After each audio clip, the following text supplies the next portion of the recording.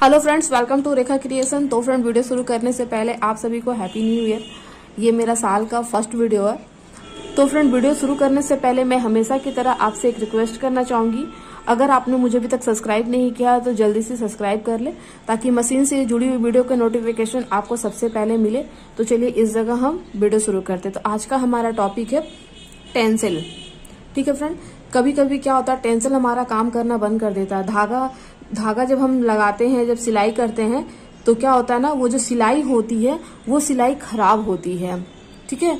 और सिलाई खराब होती है और हम परेशान होते रहते हैं। मान लीजिए कभी आपकी एक प्लेट इसमें से ये तार, ये जो आप तार देख रहे हैं, ठीक है? ये तार टूट गया है या ये टेंसिल की जो प्लेटें हैं कभी इन केस भूल गई हैं तो आप इसे घर पर कैसे चेंज करोगे, वो मैं आपको दिखाऊँगी। तो फ्रेंड, अभी तक आपने वीडियो को लाइक और सब्सक्राइब नहीं किया तो जल्दी से लाइक और सब्सक्राइब कर ले। तो सबसे पहले जो आप ये प्लेट देख रहे हैं, इस प्लेट को हम खोल लेंगे। इस नट को हमें खोलना है। सबसे पहले ये नट खोलेंगे हम।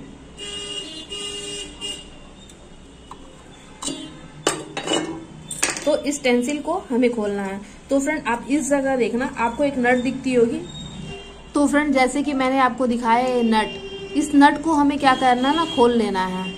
देखिए, ये बहुत आसानी से खुल भी जाता है, और इसे मैंने हल्का सा लूज किया, और देखिए, मैं आपको दिखा रही हूँ।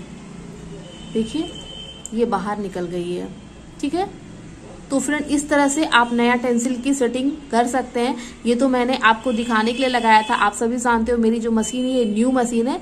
मैंने आपको दिखाने के लिए ये वीडियो बनाया है। अगर आपको टेंसिल चेंज करना है तो इस तरह से आप इसे चेंज कर सकते हो घर पर।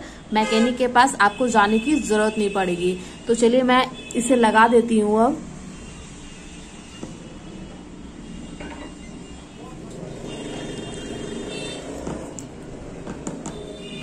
देखिए इसे हमने फिक्स कर दिया है। अब नट को हम क्या करेंगे? इस जगह टाइट कर लेंगे।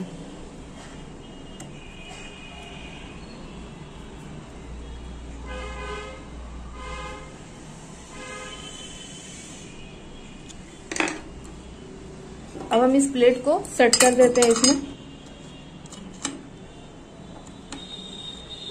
और नट को भी टाइट कर लेंगे।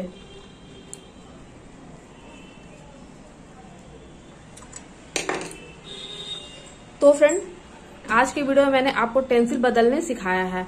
तो फ्रेंड मैं उम्मीद करूँगी ये वीडियो आपके लिए काफ़ी यूजफुल होगा। वीडियो अच्छी लगी हो तो लाइक सब्सक्राइब एंड शेयर करना ना भूले। मिलते हैं मशीन की एक नई वीडियो के साथ। तब तक के लिए बाय बाय